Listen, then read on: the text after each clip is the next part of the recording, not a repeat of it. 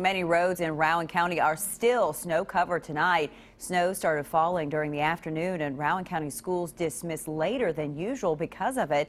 Garrett Weimer talked to drivers around Morehead tonight. He continues our first alert weather team coverage. The snow may not be piled up high, but it was enough to cause problems for drivers across Rowan County and eastern Kentucky turning streets slick and causing a number of wrecks on the roads. Well, it was snowing on my way home, and uh, the snow was starting to stick towards the road. I don't think the roads were uh, treated very well yet. So it was a little bit uh, slow in coming home. I was averaging probably uh, 50 miles an hour on the interstate. That's what I felt comfortable driving. Kentucky State Police say a two-car crash caused injuries on Route 60 near Lakeview Heights. The county's emergency management director says he had reports of several fender benders, but no major accidents.